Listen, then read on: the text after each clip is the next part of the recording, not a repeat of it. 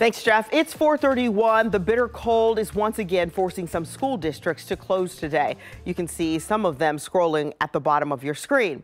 10 TV's Tino Ramos is live to explain which Columbus City schools are making that particular move. Tino. Tracy, yes, definitely the bitter cold temperatures. We're experiencing it once again here. And this, of course, is forcing many school districts to think about safety, as was the case for Columbus City Schools.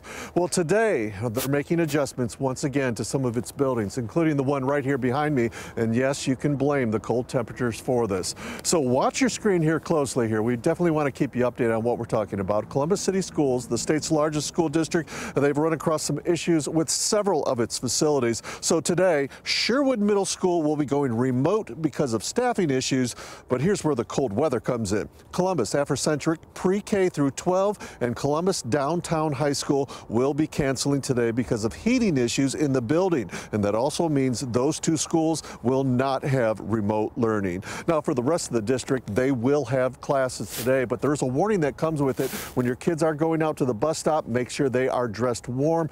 This is a good day to probably keep them in the car until the bus arrives. We'll have more coming up next half hour. Tino Ramos, 10 TV News. Tino, thank you for that.